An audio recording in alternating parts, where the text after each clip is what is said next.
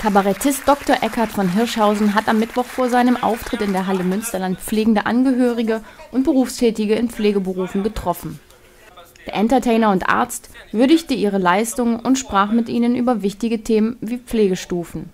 Sehr, sehr weit weg von dem realen Bedürfnissen von den Menschen, weil auch durch die Prüfungen und sowas wird immer mehr Details abgefragt und die einfachen Dinge äh, geraten da so ein bisschen aus dem, ähm, aus dem Fokus und das ändert sich nach und nach. Also ähm, ich bin da auch mit der nächsten Generation in Kontakt. Ich habe äh, einen Lehrauftrag inzwischen auch. Hirschhausen tourt momentan mit seinem medizinischen Kabarett namens Liebesbeweise durch Deutschland.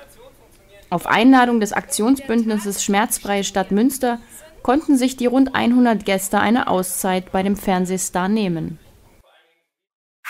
You.